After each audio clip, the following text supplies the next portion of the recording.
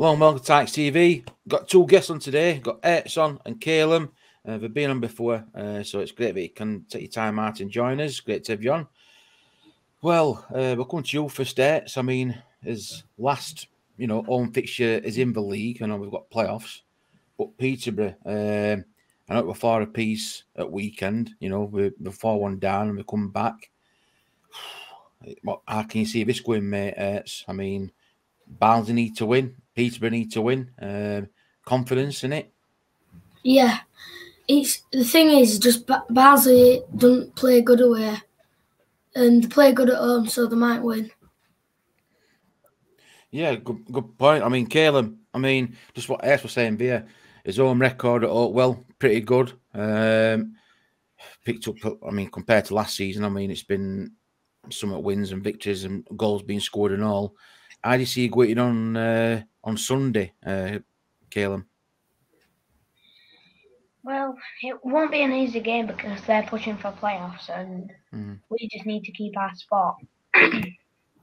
but I think they'll put a fight in, but we we definitely will. But our home record has been good and we've been playing well, so I think it should be an hard game, but I think we'll, we'll just push them an hard game, but we'll push them. Uh, so, I mean, coming back to you, we've just been talking off air, mate. I mean, Peterborough do need to win, and Derby, you know, have got to lose. So, Peter are going to be going for it. So, it, has got potential to be a, an, an attacking game by Peterborough. So, we need to be switched on, don't we, at back? Uh, yeah, yeah, definitely. They have got some all right players, and they're pushing for playoffs, so they they will give us a game. Do you think that Peterborough Ertz will be coming to Oakwell thinking we've got naught to lose as such, we need to just score goals? So you'd be looking, I know that there's uh, rumours going about that Mads Andersen might not be fit, you know, he's picked up a bit of niggle. So you're looking at our defence. We need to be like switched on, don't we, Ertz? Yeah, because they'll be shooting from everywhere. So we need some good people at back good people at back. I mean, Kale, coming to you, mate. I mean, just what Ace was saying here, we need to be some good defenders at back. We need to be switched on. We need to be a bit quicker and a bit sharper at back and all. I think, uh, Caleb, because like against, I mean, against MK Dons, they were attacking and we sent to be a bit slow to second ball all the time, Caleb. Yeah, we just stood and watched, and then when they got next to the net, that's when they started pushing. Mm. Um, I think I don't think our midfielders was covering defence really as well. Yeah, that's a good point. I mean, just on back, Caleb. I mean, I know Luke Connell were out. He picked up a bit of the bug and back, but again, in in defensive midfielder kind of thing, it it sent a bit slow tracking back and picking the man up, didn't they? Um, I know they scored some goals and were cutting in, but what what got me is I think it, I forgot where it was now, but on outside the box, he hit it well. And I think if a defensive midfielder had been able to close him down, I think Luke Connell would have closed him down. Do you think that's what we're missing in midfield? That bit of a bit more sharpness. Caleb? Well, Con- Connell, like he's been doing well, but I think the midfielders that come, they should be able to deal without him. But last game, it just didn't seem like it. Seemed like they mm. needed him. Yeah, needed him. I mean, it's um, I've been looking on uh, on news and stuff like that, and Luke Connell has been back in training, so it looks like he will be, as will Adam Phillips. So again, two, two, I'd say, in players that had, had been missed throughout season, um, Luke Connell brings that bit of quality to you know uh, midfield. Adam Phillips been uh, scoring some goals as well, and as well as what we need to be looking at for Peterborough, their attacking, we need to be on our attacking uh, point as well. I know we like went one 0 then we were losing four one, but what impressed me was when uh, Max Watters came on. He sent to take bull bite ons and he, he sent to that bit more of a goal threat. I think that's what we've been missing. Um, can you can you agree on that, uh, Ed? Yeah, I think we've been missing a, a good striker that can put ball in back at net all time, and sometimes the strikers just miss um, back at net easier and they need to take them chances. If they took them chances, we could be in, we could have got automatic. Yeah, yeah, good point. Would you be starting with Max Watters? Um, Ertz, he came off at bench and scored a couple of goals. Would you be starting him? Uh, yeah. Yeah, starting, uh, yeah. I'd drop Devante Cole and leave Norwood on. So you'd have Norwood and Max Watters up front? Yeah. Oh, good shout. Good shout. Caleb, I mean, coming to you, mate. I mean, I, I agree with what Ash is saying. I think with Max already came on off at bench, he seemed to be fired up for it. I think him and Norwood could have a, you know, cause uh, Peterborough defence a bit of an handful. Would you, would you keep that, or would you, would you have a different uh, front two, uh, Caleb? I'd have the same, but I wouldn't do that like every match because Levant, Levante and Norwood, they're just they work together well but I haven't fully seen Watters and Norwood do it. Yeah, that, yeah, yeah. I'm just trying to think uh, if they've started started off playing together. I know they've had a, it's been chopped and changed about a bit up front. So yeah, I get I get where you're coming from on that. I mean, going back to your weights, I mean, Kalen just said, yeah, Mitch, what a good point because I mean, we were all calling for Tedic at one point as well to be starting, but I think we what I think what Barnsley fans have seen is that when Duff made the substitutions against MK Dons, it seemed to change the game. So do you think that players who's on bench are wanting to be fighting to get into starting eleven, knowing that there's a potential, you know, two five front, but potential Wembley place at stake? Do you think they want it even more? Uh, yeah, yeah. Um, Caleb, I mean, you look at from back to front now. You can look at Harry Isted, you know, Mads Andersen, all being well, you know, he's not going to get risks, but we can save for playoffs if need be. But going all the way through, do you think that players should be really staking the claim and saying, yeah, I want to play in this playoff semi final and playoff final, all being well if it goes his way? Do you think you'll see a, a change in players being more fired up for it? Well, there'll be some players that is wanting to, but I don't. It'll be hard to get that spot because our normal starting lineup is solid and there's not really many goals being conceded. But like last game, it wasn't our full lineup, but so conceded a bit, mm. didn't we?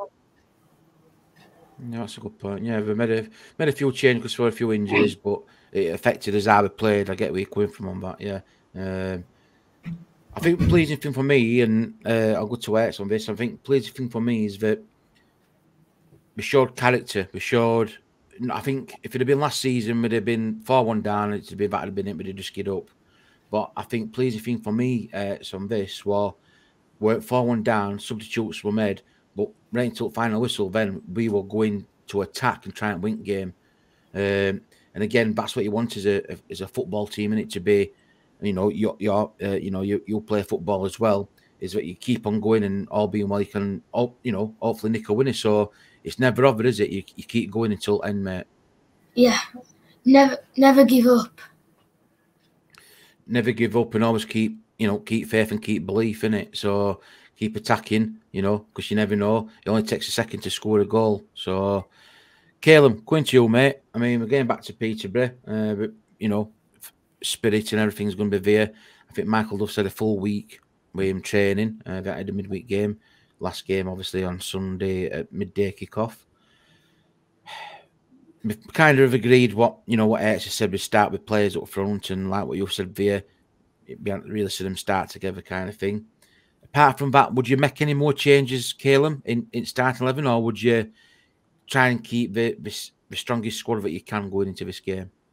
Well, I won't do loads of changes because it's not really an important game. We just need to stand up to them and just need to keep our spot.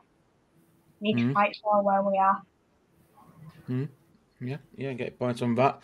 Don't take on any unnecessary risk and don't pick up any injuries or silly bookings what could potentially rule you and that. And yeah, I get where you're going from with that. Um, I think with it being end his last home game at season, I can see, I'm, I'm, I'm hoping that the players will go out with a performance and keep us fans happy. Um, it's coming to you then, mate. I mean, score prediction. Um, I know we said off air, like, but now recording. Uh, what what are you going for your score prediction? 4 0. 4 0 Barnsley. Uh, Caleb, what are you going for, mate? I think 3 1 Barnsley. Oh, nearly. That's a 3 0. Uh, so I think we all can agree that we're going to score goals, all being well. Uh, you know, end the football season on a high, his last home game in the football league. I mean, we've got the playoffs, but be a nice send off for fans, um, you know, and is, is keep his own record going. Now, before we end this stream, you know, uh, we've agreed that about you know how we played and score predictions. I'll come to your weights. Uh, who's been your? I know there's like still uh, playoffs and that to go, but who's been your or player or players who stood out for you this season? Will be number one? It's Uh, Norwood. James Norwood.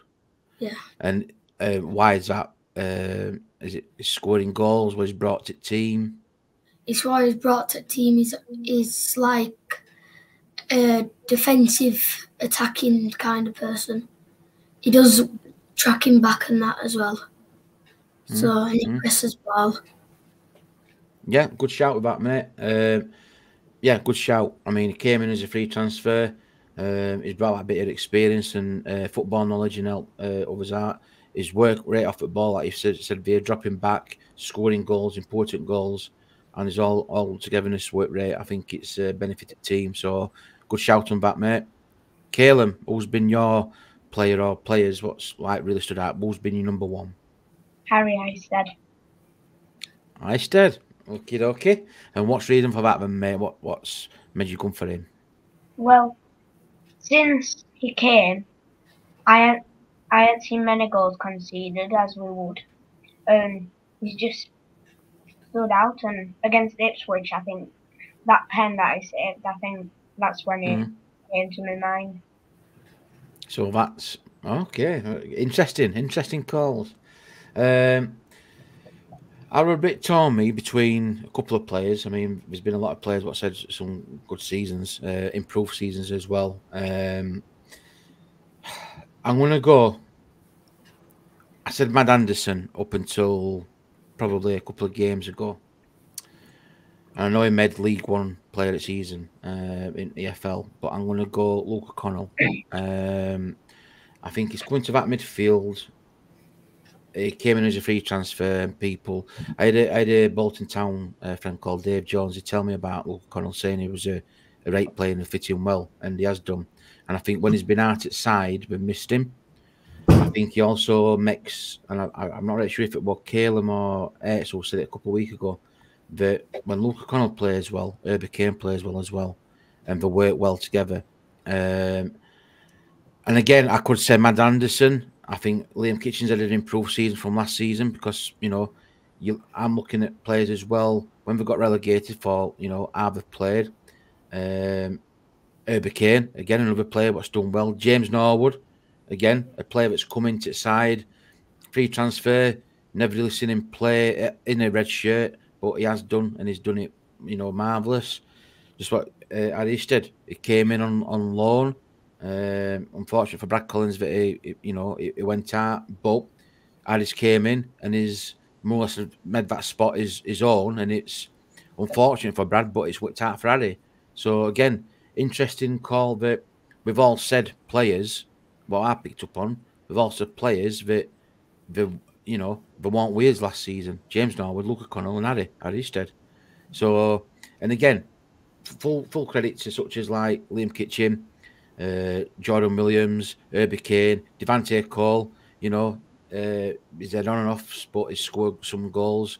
So he could go through like uh, a lot of players, but uh, we're going for a goalkeeper, going for a striker, and then going for a midfielder. So there's only someone. If we had another fourth person, we might have gone for a defender, so we'd have covered all areas, and won't we? But uh, great, great shouts. Um, Ertz, thanks for joining me, mate. I've appreciated it, and uh, have your taking your player the season.